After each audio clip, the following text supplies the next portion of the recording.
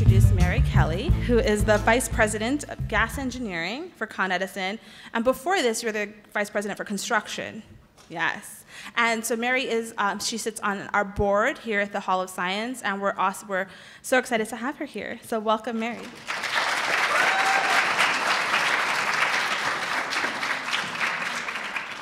Well, thanks, Priya, for that lovely introduction and uh, warm reception, everybody. Thanks so much for coming out to see us on a Friday night. We, we appreciate you giving up your Friday night to spend time with us. Um, I'm really excited about programs like this on a personal level because I am an engineer and have spent my 25-year career um, at Con Edison in engineering and construction. Um, I have, uh, uh, I lead a technical organization and need people like you to help me deliver energy to the three million customers we have here in, uh, in New York City. And I'm a mother of two kids who are getting ready to enter high school. And I'm also on the board here. So for all of those reasons, you know, this whole topic is really personal to me. Con Edison has had a long-standing relationship, 50 years, with the New York Hall of Science we really believe in giving back to our community and investing in all of you and your science, math, technical education because you are the workers of the future and it, I can say it's a fascinating place to work, the energy field. Uh, we have a really terrific uh, panel of folks here today and uh, you know, I hope you take the opportunity to, to ask them all the questions you have about, uh, about their careers and hear about their journeys and their stories. Um, in, uh, in, uh, in the museum, we talk a lot here about design, make, play, as many of you know. And it really is not just uh, for the museum, but it really translates into the real world. We at Con Ed also believe in really the same principles, design, make, play, but in our world, it's engineer, construct, and operate. But it's exactly the same principles, and it's really we believe the way that people learn best is by doing, which is the play kind of aspect here at the museum. So I think maybe you'll hear some of that um, tonight as well. We really believe that people learn most by doing. We like to have our folks experience different um, parts of the business. I've been in engineering and construction. You bring best practices and uh, things that you've learned from one part of the business to another. And that's uh, really for STEM education, every project you're on is a little different and you continue to learn uh, for the rest of your life. And that's one of the things that I hope you've been learning about here at, at the museum is how interesting um, and how varied the, uh, the learnings can be. So we're really excited to have you here today and uh, I'm gonna turn it back over to Priya to get the evening started. Thank you.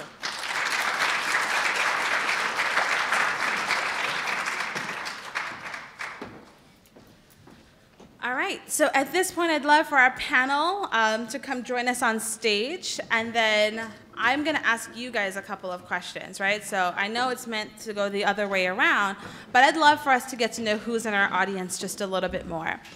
Um, and then we'll have, we'll go through and our panel will introduce themselves, and I'm going to ask a question to kick off the conversation, and then turn it over to you guys. So if you are reading the bios and, and, thinking about questions just in general as they're doing introductions, I'll be walking around with a microphone, or maybe I'll get some help to do that. Um, and then just raise your hand if you have questions and we'll, we'll take your questions. So to get started, how many of you are in high school? How many of you are in college? I can see a cluster happening over there. I know a lot of those faces too. Um, it's very interesting. How many of you are interested, or and, and you can raise your hand as many times as you want here, in exploring careers in, in engineering, or learning more about that?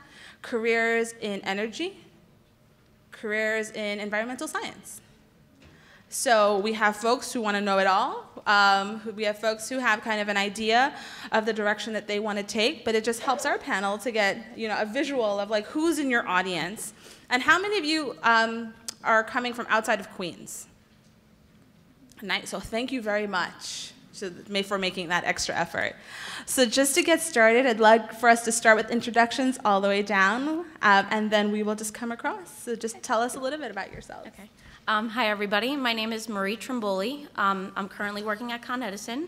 I'm a senior planning analyst, um, and my in the STEAM department, and uh, my main functions are natural gas planning, um, and then I do a variety of technical um, analyses and um, projects that relate to the generating stations and also our distribution system in Manhattan.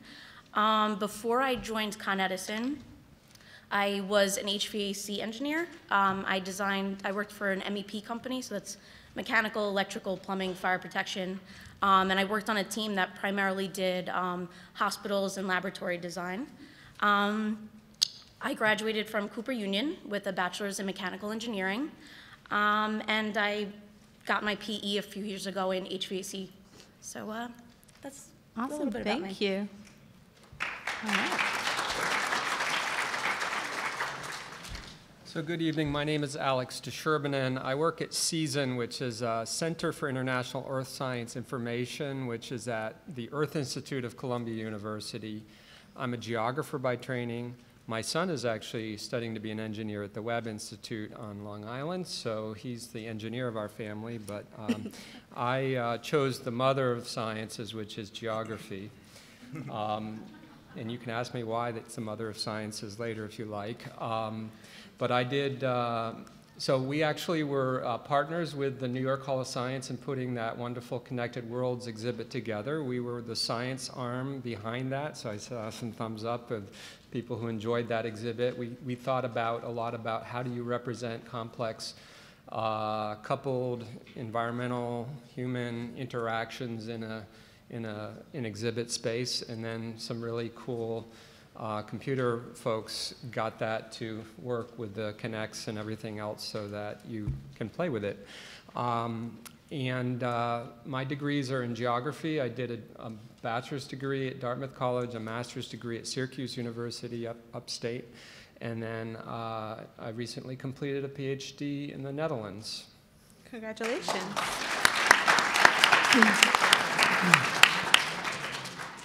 Hey guys, my name is Greg Hastings. I'm an engineer at Con Ed also. Um, I work more on the field side of things, so oversee large-scale construction projects for Con Ed. There's a lot of infrastructure that it takes to get the power from where it's generated or where it's coming from into your homes and into stores and stuff around New York City. Uh, so I do a lot of construction projects out in the field on all that infrastructure that we have. Uh, in particular, I work at most of our power plants. Recently, I've worked on some projects where we've upgraded power plants that burned oil converted them over to natural gas. Uh, also did some work on the Queensboro Bridge, which has a lot of our uh, transmission lines. So I've done a lot of uh, interesting construction projects for Con Ed. I've been there for about six years.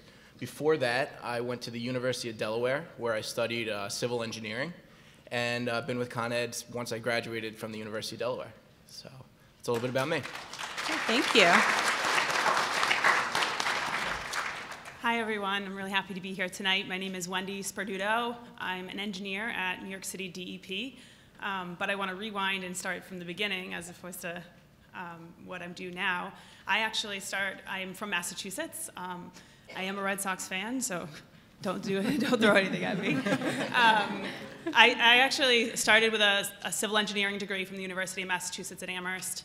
Um, I stayed there for my master's degree in environmental engineering, so I know there's environmental sciences out, out there and then engineering. I wanted to do both, so environmental engineering was my field. Um, I happened to land in the water field, so I actually um, came to New York City to be um, at the hub of um, one of the largest water supply infrastructures in the world um, and have had the pleasure for over 15 years to work on New York City's water supply, delivering large water supply infrastructure projects. Um, currently, my role with New York City Department of Environmental Protection, I actually serve as a program manager for a program called Water for the Future. Um, Water for the Future is centered around repairing the largest water supply aqueduct to New York City, uh, the Delaware Aqueduct. It's leaking 35 million gallons of water a day, which for those of you who can't comprehend how much water that is, that feeds the city of Stamford, Connecticut every day. So it's a lot of water, and when the Hudson River is at low tide, it, you can actually see it bubbling at the surface.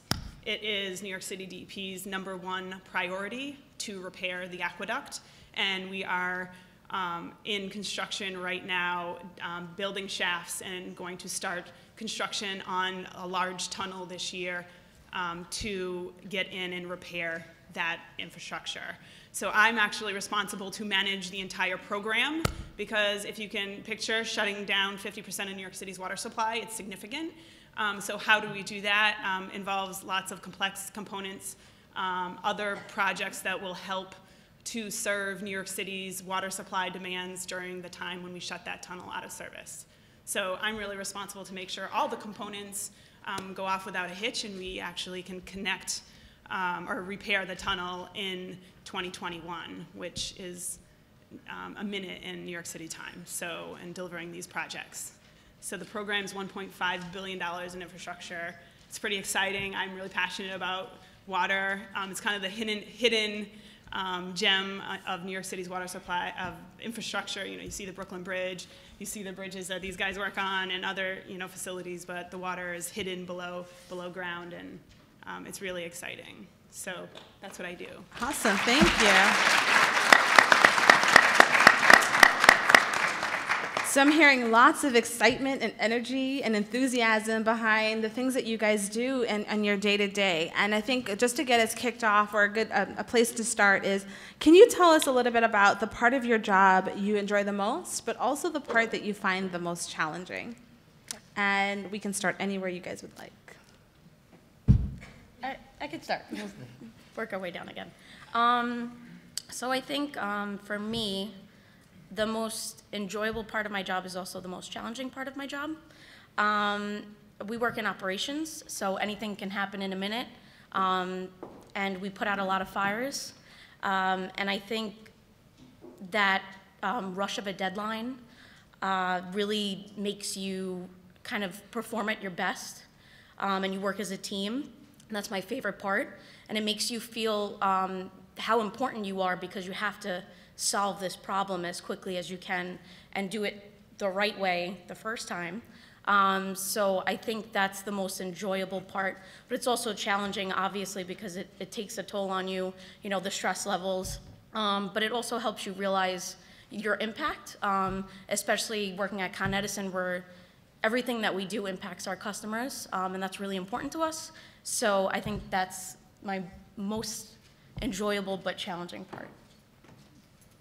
So for me, I would say uh, we, we run a small research center. It's about 40 people.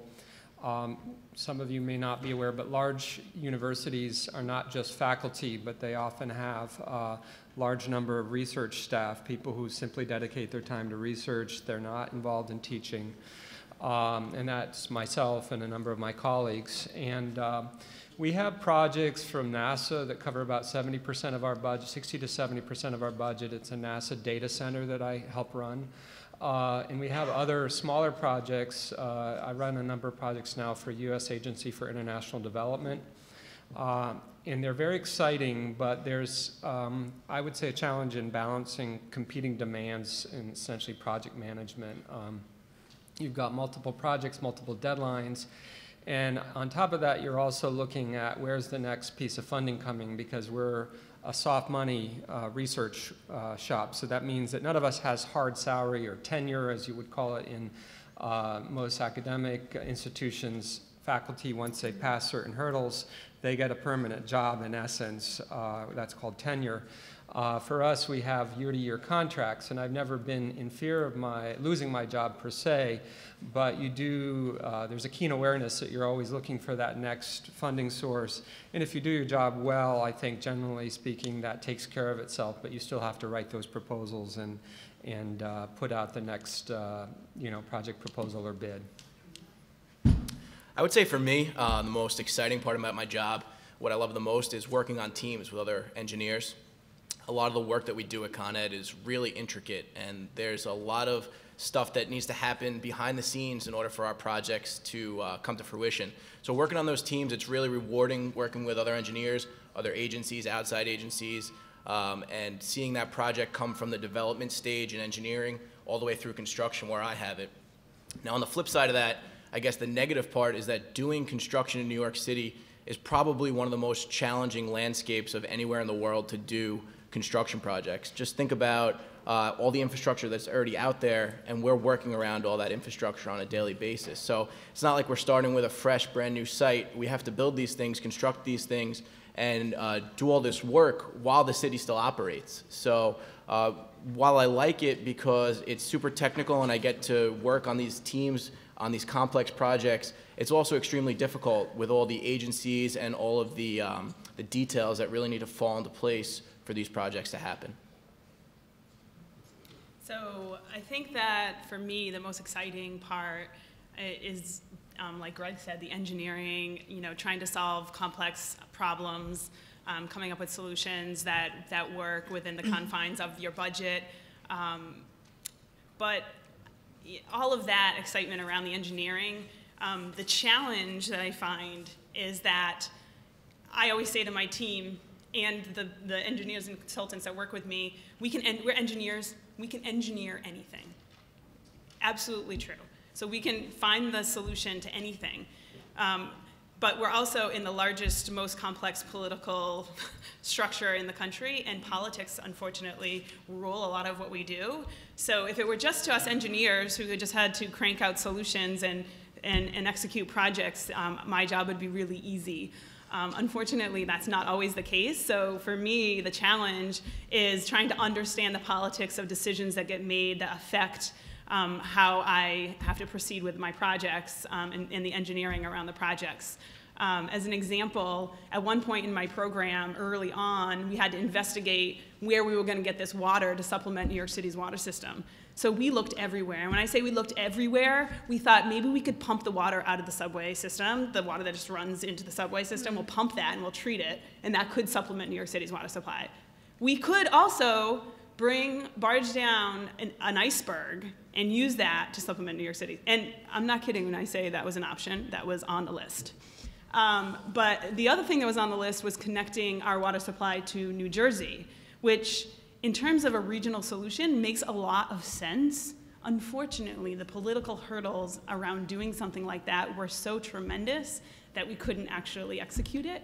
Um, so it was really disheartening for me. I was like, oh, this you know makes sense for the region, but we can't actually execute. So that for me is like a big challenge. But the engineering is just amazing, and you know those those challenges are really fun.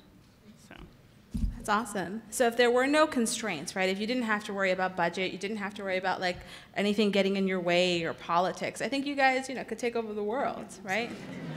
Absolutely. All right, awesome. So we're going to start with questions from you guys. So if you have a question, raise your hand. Marcia is walking around with a microphone.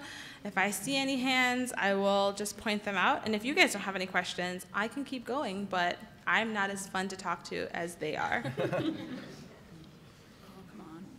I have one right over here. So just as Marcia is walking that way, if you want to just introduce yourself, your name, and maybe what school you go to, grade and what school you go to would be awesome. Actually, can you pass it? It's going to be a little chain help, yes. Hi. Hi, my name is Alicia Weaver. I'm in ninth grade and I go to Millennium High School near Wall Street. And a question I have for you is what qualities or skill sets do you think one would have to need or have in order to be successful in your field of work? Awesome. I'll start this time. Take the pressure off. So um, I actually think, quite honestly, um, the technical skills and you know the scores on tests are, are important. However, I find I interview people all the time for positions, and I could get someone who, in on paper, looks tremendous. Like their GPA was out of control.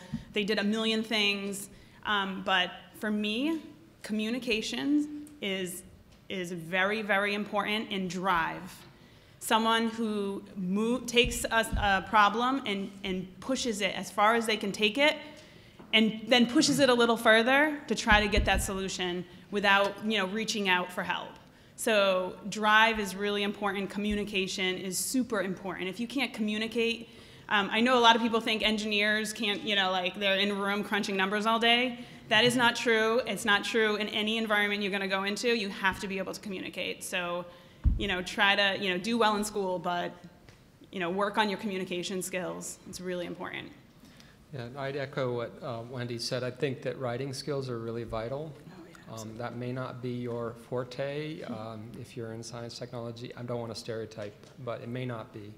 So I would really encourage you to work on that and uh, keep plugging away and don't just give up, you know, after doing introductory English in college, but get, keep working on that because you're going to need to write well for just inter-office communication, if not full reports. Um, and uh, teamwork's also a really important skill. I think most of you are probably learning a lot of that in college or in high school, and just keep working in teams. If you're not a good team worker, also try to hone those skills and and uh, learn how it is, you know, what it is to, to put a project together with other other team members. Yeah, I think uh, kind of what Wendy said, work ethic is really uh, an important one. Um, in engineering and technical fields, you're going to go through high school and college, and the classes are going to be really challenging. And you have to have that tenacity to, to really buckle down and, and do your work um, and not get discouraged if you fail a test or if you fall behind on something. Um, and that those skills will go a long way when you get into your technical career too. Uh, just an example from, from my career, we're doing a construction project and we're going 100 miles an hour in one direction, and all of a sudden some big roadblock comes in front of us. You can't get discouraged. You have to be able to work through that. So the, the tenacity and the work ethic that you discover uh, that you have through, through the schooling will really help you uh, when you get into the engineering field. Um, I completely agree with all my fellow, fellow panelists. Um, communication is huge. It's part of your everyday um, work life. Um, I also just wanted to add um, curiosity. Uh, it's really important for you to be curious um, and always to seek out maybe not, not the most obvious solutions um, because that'll help you with the really, really difficult problems. And also just a love of learning uh, because you're going to need to continuously learn throughout your entire careers. So that's important. Great. So uh, if anyone has any other questions, you can raise your hands. And I think there's one over here, Marcy, or a couple over here. But what I'm just reflecting back on what the panel is saying is a lot of what they're saying are, are, both technical skills, but a lot of those skills that you, like where do you learn how to, to be a good communicator and talk to people and have good eye, con eye contact and things like that. So a lot of it takes practice, right? It's finding places that are going to take you out of your comfort zone and pushing yourselves a little bit. And so that's a lot of what I'm hearing from the panel. So in addition to all of the technical aspects, it's it's the communication, it's all of the things that maybe you don't learn in school, but you're going to help yourselves um, learn as you push your boundaries. All right, next question. Hello, um, Zhang Zhu from a 10th grader from Stuyvesant High School. So one question that I have is, what sort of what types of courses would you recommend for high schools to take if um, they're interested in engineering, especially in energy? Sure, I'll take this one. Um, obviously, when you get to college, you're going to be taking a lot of science and math courses, um, and also anything related to computers would help out. So, you know, as you go through high school, uh, focus on your science and your math, because, like we said before, English is important, but that'll really be the, the foundation of your education for uh, an engineering curriculum. And then any electives you could take. Um, I know things like first robotics competition, stuff like that, where you can get like hands-on and really get to the, uh, the, the, the nitty-gritty like technical side of stuff, where you can actually do some real engineering yourself. That those types of things help a lot too. All right, awesome. I hear one of the things that a lot of the conversations we've been having here at NYSCI is all around computer science. How many of you um, know how to code? Yeah. How many of you guys know how to code? I can't. I have someone on my on my team who's right. super smart, Yep. and when I need Same here. code, I'm like, can you I, help me? I got someone on my team. She's in the front row right there. Who knows me- who's really He gives me good at this Outlook buttons, and I'm like, yes. And so it's just really interesting in seeing the direction and you know the embedding of computer science and and being able to code and having that as a technical skill and how that as a technical skill can aid I think everything that we're talking about in this discussion but also as you expand your your opportunities in STEM. So we had another question over here. I think I saw the microphone being moved around. Yep. Um, hello, uh, I'm Hamid Dusela from, I'm a junior at University Prep Charter High School. Uh, since this is an, an environmental project, I was wondering like, I just recently learned over there that Con Edison gains its power from other companies and stuff. So since this is an environmental project, how do Edison in the, fu- in the future want to, will make sure that they use more renewable resources instead of oil and coal in order to better the environment? Okay, so I just want to sum up his question because I think it was a little jumbled for me, so I just want to, you, you shake your head if it's correct, but you're interested in just learning more about how Con Edison is going to be using more renewable resources in the future of their work. Okay? Uh, I can start, I can All start with that. Um, so from the STEAM side, uh, so for those of you who do not know, there's a STEAM um, system in Manhattan, and we supply steam from 96th Street on the west side all the way down to Battery Park. Um, and unlike the um, electric side where we don't really own power plants anymore, um, steam has steam generating stations, um, but a couple of our stations can also produce electricity. And what we've done in recent years, and uh, Greg had mentioned it, is uh, we're converting our stations to natural gas. Uh, so when we produce steam and produce electricity, we're using natural gas a majority of the time, and really oil is only used in emergency situations when gas is not available. Uh, so Con Edison is very focused on environmental impacts. Um, we also use cogeneration. Uh, so we produce electricity and steam at the same time. So we're getting two sources of energy um, with one fuel source. Uh, so we're doing two things at once, and that helps us to reduce our carbon footprint and um, other emissions that we're uh, producing are much less because of that. Um, uh, there's a number of things we worry about. Water usage, we try to, you know, reduce our water usage and, um, We appreciate that. yes, yes, yes, we work closely together very often. Um, but we are very, um, concerned with environment, especially in New York. There's a lot of environmental regulations that are coming out, um, and everybody's really trying to move to cleaner fuels. Uh, so that's really important, and we're definitely on the forefront of that. Great. I think there's a question right here that I saw this young man's hand up, so we're going to pass the mic down to him. Sorry. Just raise your hand one more time. There you go.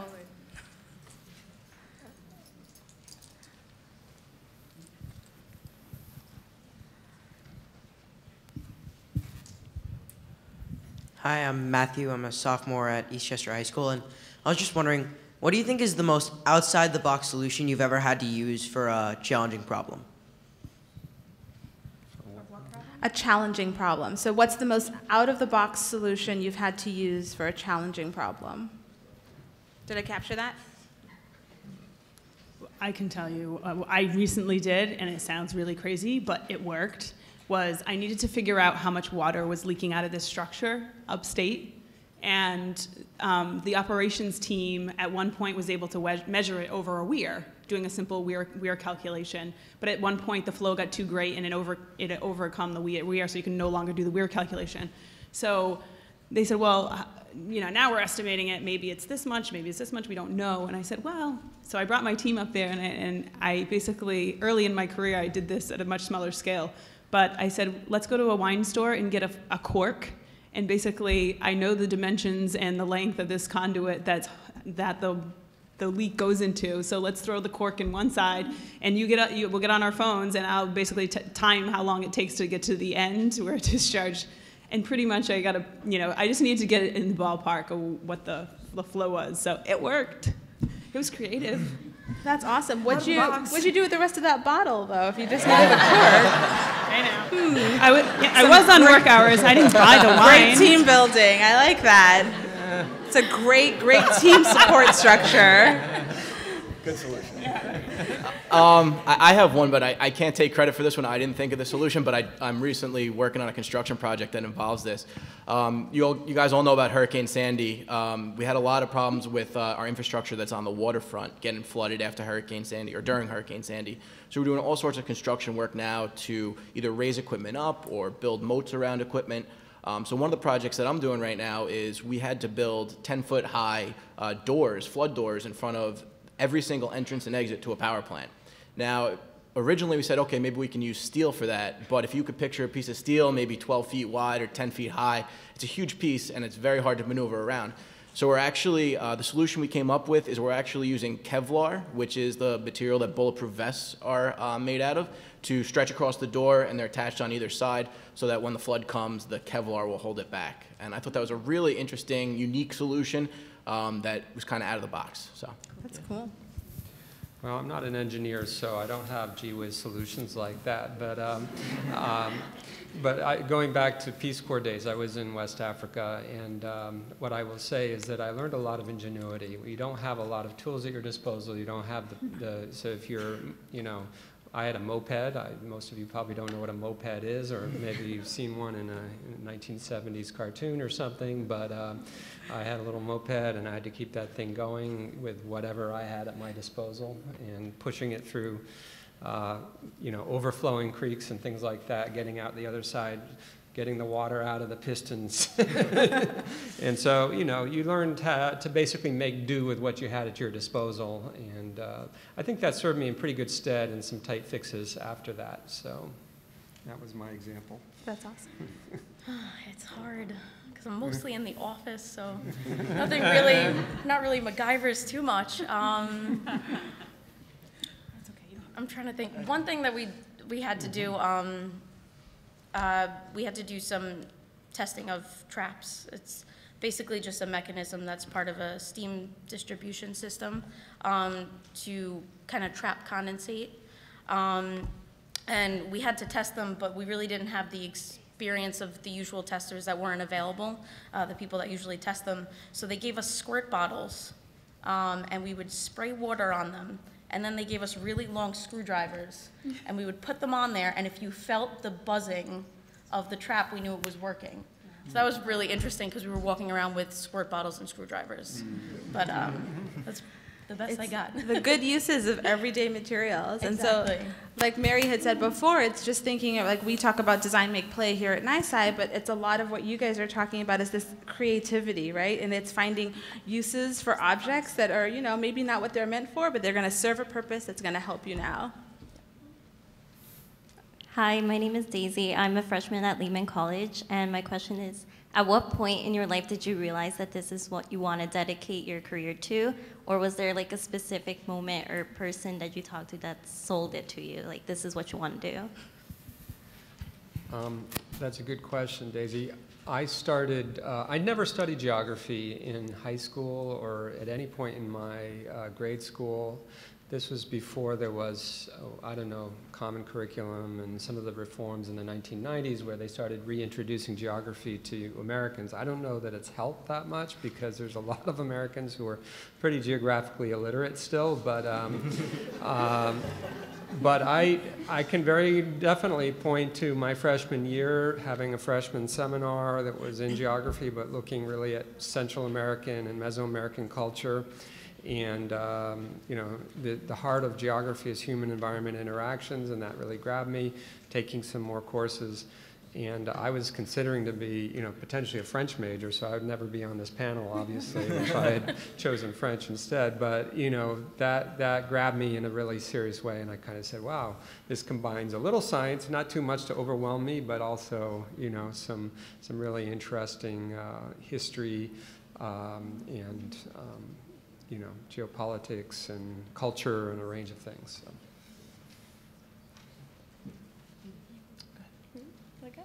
Um, I think for me, it was my sophomore year uh, of college during my bachelor's.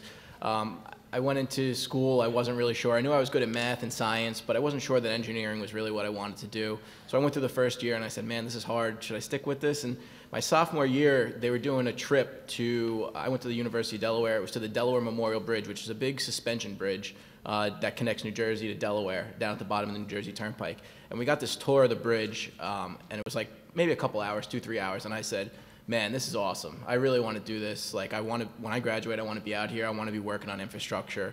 Uh, move back to New York, where I originally was from. And I just thought that was so cool, and it really solidified that this is what I wanted to do.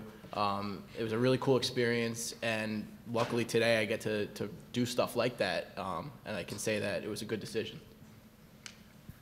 Yeah, I think um, for me, uh, very similar to Greg. Um, I was just really good at math and science in high school. wasn't sure really what I wanted to do. My dad had suggested maybe looking into engineering. I looked into it. The more I learned about the types of engineering, I thought, you know, this this could be a good fit for me. Um, and it was in college that I kind of realized that I, I definitely wanted to do this. Um, but it was more, um, it wasn't a class trip, but uh, I had started an internship. I figured I'd start early. So after my freshman year of college, um, that summer I had gotten an internship actually at the engineering firm that I worked with after I graduated. Um, and I got put on a really great team. The people were really nice and really supportive. Um, especially as a girl, sometimes it's a little overwhelming. You're usually one of very few. Um, but it was a it was a group of all men, but uh, they were really supportive and really excited to teach me uh, what they knew. Um, and I thought that was so interesting, and I the work that they did was really interesting. Um, and even though I've strayed away from that uh, slightly, um, I think working in that internship and and having the hands-on experience um, of what they did every day, and almost like having a, a real job, because it wasn't an internship where I made copies or you know put binders together. They made me sit there with them and do the calculations and draft you know floor plans and um, it was a lot of the actual technical work that they did, and I just helped them. And uh, that really helped me decide that that's what I wanted to do. Sometimes I think a career finds you. For me, um, if I was doing what I wanted to do my senior year in high school, I would be a park ranger. So um, I thought I wanted to be outside driving one of those really cool Jeep things around in a park. Um, so I knew I wanted to do something with the environment. And when I went in and talked to my um, guidance counselor, she was like, well, you know, Wendy, I see your scores are, you know, you're really good at math and science. And I said, but I want to do something with the environment. And she was like, well, here's a brochure for a program in environmental engineering. And I thought, oh my God, this is perfect. It's merging both the things that I really want to do, be close to the environment and work on the environment.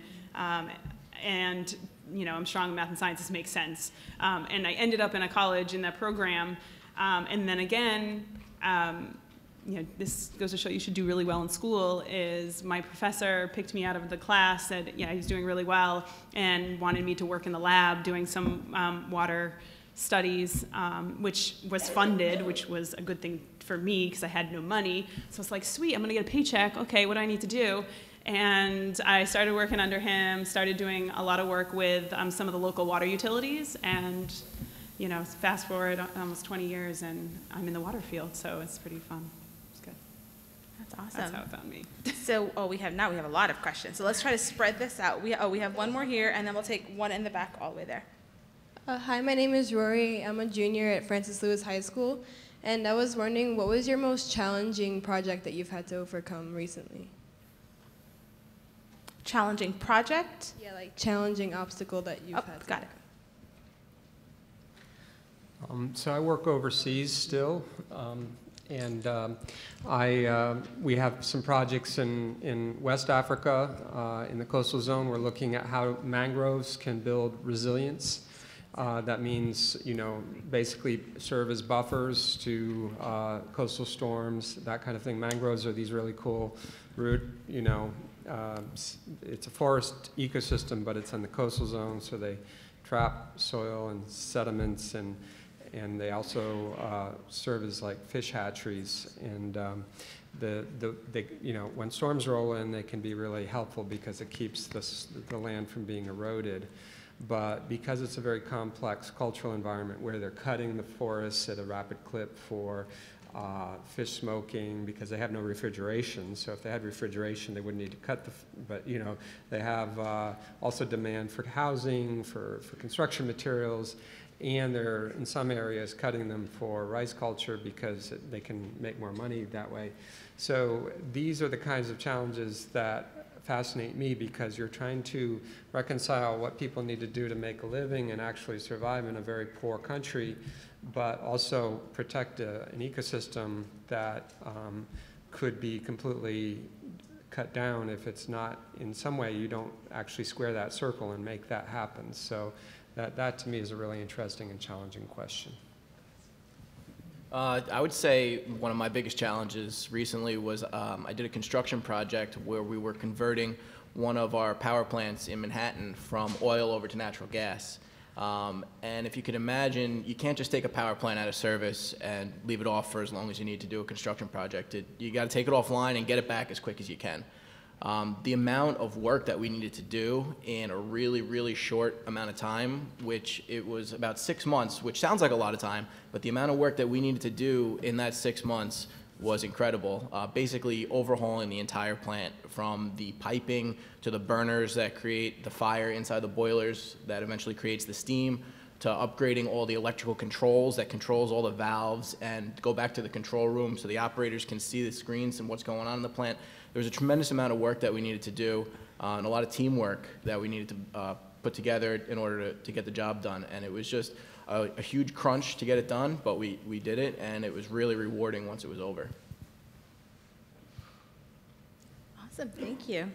So did we have another, someone already had the microphone for the next question? Um, hello, my name is Angel. I'm in ninth grade at Energy Tech High School. So since we were talking about coding and everything, um, my question would be, uh, how does technology play a role in your career? Okay, so one of the things that I love about the program that I work on is I get to do this really cool thing with a torpedo-looking machine that is called an ROV, uh, remote operated vehicle. So um, it's some of the same technology that they use to find the Titanic and that they use um, if you've if you watched any of the news with the the air the flights that go down in the ocean. So I get to send this ROV down into New York City's water supply tunnel um, you know, we basically shut the tunnel off and send a very small amount of water down just to keep the water moving. And then we launch this ROV, and it basically takes 360 degree photos as it goes down the tunnel, and we can get eyes in the tunnel without actually draining it and walking through the tunnel. And so um, there's always a big wow factor, and it's pretty cool um, getting, you know, being there. And it's really almost a 24 um, 7 operation. We shut the tunnel down, and um, being there watching the screens and TV. It's like I feel like I'm NASA. Um, it's pretty amazing. Um, it's all kinds of you know ultrasonic um, equipment and altimeters, and I mean these things are just wet, really well equipped and sensitive cameras. So really, technology um, plays a part in lots of different things that we do. It's fun. Um, so uh, a lot of the work that I do is on a computer. Use a lot of different computer programs uh, to do analyses. Uh, but one interesting thing that we're actually doing now is uh, we have a number of, we have, you know, five generating stations that we own and one that we are supplied by that's uh, privately owned. And, um, you know, there's a ton of different boilers and other pieces of equipment at each of these stations. And we have a control center um, that dispatches these units um, to meet our customers' loads. And we're, uh, right now they have a, a um, an Excel sheet that they use. Uh, it's an Excel calculation, it's a little complicated, um, and it kind of guides them on to which units to dispatch before others um, to be economical, um, environmentally uh, sound, and also for reliability purposes. Um, and we're currently working on a computer program um, that's going to do that more automatically um, with less manual inputs um, to assist our dispatchers in picking the right units um, for our customers' needs. So that's pretty exciting. Um, so geography has its technology too. It's called geographic information systems. So think of um, you know a pretty map, but then think of all the data that goes into that map. So actually, I'm sure many of these people use GIS as well um, because you can't dig anywhere in New York City without knowing exactly where your pipes are. There's probably, you know, I'm sure you have 3D imaging of, you know, what actually is underground. Uh, but, you know, GIS technology is, um, you know, really proliferated across a whole range of fields, and we teach GIS at Columbia University to students in public health, architecture, engineering, a whole range of different fields. Um, and one of the cool things that's coming along is, is the, the ability to do more and more analytics over the web. So you have, it used to be you had to buy a standalone GIS package like ArcGIS or QGIS or a range of, there's, you know, a bunch of GIS packages, but uh, now you can do this using Open Geospatial consortium specs, specs and essentially do what they call web processing. And, and so I'm not a coder, but I'm really excited by what the coders are able to do, and we produce some really pretty neat applications, including a recent iPhone application, which basically allows you to tell, you know, draw a circle using your iPhone uh, on the map, and it returns the population in that area. So we've got in there a nuclear power plants database, we've got in there a bunch of um, uh, reservoirs and dams, and we've got in there a number of hazards. And so the idea is that if uh, an earthquake or something occurs, you can draw a circle around that and instantly return how many people may be affected by that. So I'd say uh, I use a ton of different uh, computer programs on a daily basis, but one example that I like to use that's relatively simple is uh, when I have a problem out in the field on a construction site, maybe something isn't able to be installed like the engineer had designed it. Um, previously, what the process would be is I'd take pictures on like a digital camera or something like that, go back to my computer, upload them, and write what's called an RFI, request for information, send it to the engineer, wait for a response. Long story short, it, it was a very long process. Um, Nowadays, with iPhones, what I've actually done sometimes recently is I will FaceTime the engineer and I'll show him what the problem is, say, hey, this is supposed to go here. Obviously, we can't fit it or something along those lines, and I'll get a solution in real time, which helps the project move along a lot more smoothly. Um, it's just a, a, small example of how technology is helping to expedite things, and there's tons of examples that, uh, across the board. Awesome. So, Marcia, we have time for one more question. So, I don't know where the microphone has landed. Um, but you can you can choose that last. I think we have it's it's landed somewhere. Okay. Hi, I'm Amanda. I'm a sophomore at Hunter College. And something I've noticed as a trend over the last couple of years is you turn on the TV, you go on the internet, and you see almost um, an exploitation of our environmental problems. So you see people being like, the polar bears, the ice caps, you know, uh, New York is going to be underwater by 2020. All of these things that are a, a, little bit outrageous, but at the same time, very real um, problems. And among all of this, you know, terrible things that you hear, please, can we just have some good news? Do you guys have anything to can, can we just have some good news? like, Wendy, Wendy mentioned her, her dam uh, um, and the aqueducts that you're repairing, but at the same time, millions and millions of gallons of water. And you did give it a context, but even for someone like me, that's an inconceivable amount of water. And even though you said that you are going to fix it, um, I guess my dual ended question is one, what's, can we please have some good news? and the second thing is, what can we as individuals, human beings sitting here right now, do, do to help or, or help out our environment? I guess. Yeah, that's what I want to say. Well, thank you. If my uh, colleague in um, the Bureau of Environmental Planning and Analysis were here as part of DEP, she would be telling you how long do you shower, and it should. Let me give you this little uh, shower meter that five minutes or less, and you know all the things that you should be doing to save water because she manages the demand management for New York City. So um, one one thing that's really positive is that in the inception of New York City's water supply, we had at one point thought that New York City was going to grow at such an exponential rate and that water use would be by now at 2 billion gallons of water a day. And we are actually at a historic low. Um, and our every year we, our water use goes down. So we're at 1 million, uh, 1 billion gallons of water a day, uh, 1,000 million gallons of water a day. So that's positive, right? So um, our our washing machines and our shower heads and our faucets are getting more efficient, and we're saving more and more water.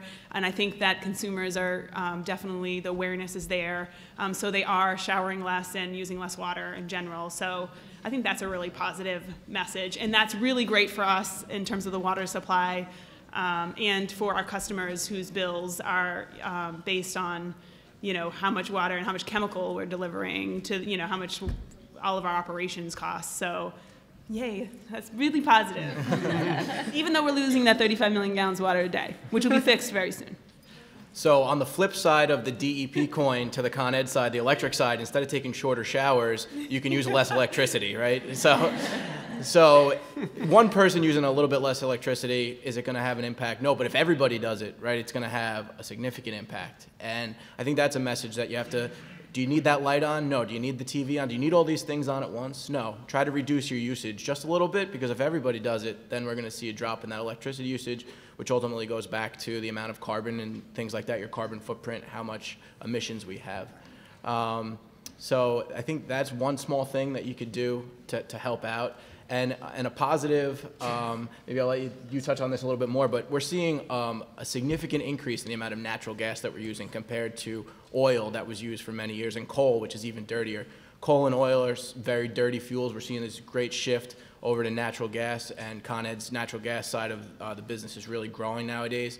Um, I think that's really positive, really uh, good thing for the future because it's just a cleaner fuel overall. Yeah, yeah. I think on, on our side, we've definitely been working towards that and lowering our emissions. Um, and again, y- you know, there's little things that you could do, just wasting less energy at home. Um, oh, now I'm having a brain fart. I had one thing that I was gonna say. Um, but yeah, it's really, if you wanna help, it's really the little things that you could do, you know, maybe public transportation, taking public transportation, all those little things um, just mean that we're using less fuel to produce the energy that you need. So, So I sent an email to my colleagues just yesterday, actually, saying, I noticed there's a lot of flat panel monitors that are on at night, and some of them do go off by themselves, but some of them just remain on, you know, and so I sent a little link to how much energy was being consumed. And we're meant to be an environmental group, and so, uh, you know, it seems to me that there should be already that consciousness, but there isn't always, you know, it's, it's true. Um, so I'm a Christian, and I could say I give you the good news, but I won't. You know, I'll spare you that. Um, the because I, I, don't think that's what you meant. But um, uh, what I do think, though, however, is uh, the the case is that that what we're seeing with a lot of these really, and I understand there's a lot of anxiety today about the issues that are going on, not just with the environment, but you know, geopolitics and and you know various types of extremism um, is that it is bringing, I think, people together in some new ways. And, uh, you know, uh, Wendy was talking about water. Actually, the history of, of, of around water has been more one of cooperation than conflict. If you look at it from a geopolitical perspective, that actually it brings shared river basins tend to bring countries together, not split them, although we don't know what will happen in the future. But we have to resist that tendency to say, I'm going to throw up walls. I'm going to take care of myself. And, you know, gated communities come to mind and things like that. And actually, you know, build community and try to work together towards solutions. And, and that's certainly what motivates me. So I hope that's somewhat positive. Can I say one more thing? Sure. So something that's really, I don't know if it's a buzzword, but um, what we've been using a lot is changing our culture and we've been focused on safety because we deliver construction, capital construction projects. So, um, but since we are also a DEP, um, one of the things that we've tried to do is we institute um, health and safety moments on in any meeting that we have. So we always start a meeting with a health and safety moment, and that can be actually an environmental moment as well. So um, we're, you know, we do this, and people at first, um, like almost three years ago, we started this. They thought it was kind of funny uh, and they were kind of joking about it and the things that we were, you know, and it was things at home or things at work. It could have been anything. Um, and three years later, we really find that, you know, people are very mindful of different things and, and, topics on the environment and safety on our sites and in the office. And it's really is changing the culture. Um, so, you know, when you talk about it, people think about it. Um, I talk about it at home, and my five-year-old literally told my, my husband the other day, Daddy, turn the, turn the water off, you're wasting energy. Or you're, you know, she doesn't understand, but she, you know, just from hearing us. So, you know, it starts with changing culture. So when you talk about it, you're changing a culture. All right, awesome. I think that we had a great conversation tonight, and I don't think we're going to bring it to a close. Instead, we're going to invite a lot of other people to join the conversation. So I'm getting some eyes down here. Um, but up on the screen, if you notice on, on the name tags of the folks in the room, we've tried to help you guys just identify who might be folks that you want to talk to based on your interest. So engineering, we have a lot of engineering folks, both from Con, Ed, from Con Edison here. So if I could have all of our folks with a blue name tag or a blue little um, stripe on their name tag stand up, that would be awesome so we can see who we can talk to later on in the evening. Mm -hmm. Thank you for being here and volunteering your time. And so you can find them um, at the next part when we walk downstairs and have lots of opportunity for one-on-one conversations or small group conversations. Thank you guys. Now I'm gonna ask for our folks with green, our environmental group. Oh, there, we're still here, yep, so we have them, they're all spread out. I think there might be more than just what we've listed, we've listed here. And then we had folks from our, the gold program at Con Edison, which you know would be great to talk to. They're over there. They had that awesome table. Lots of excitement happened over there. Uh, awesome, thank you. Uh, and then we had folks from Information Resources, right in the middle. They're ready, ready for you guys also. And then lastly, construction. All right, so these are, so as you guys can see, you have more than just, uh, more opportunity to talk with those out, outside of our panel. I want to thank our panel for a really great conversation and discussion and all of your great points.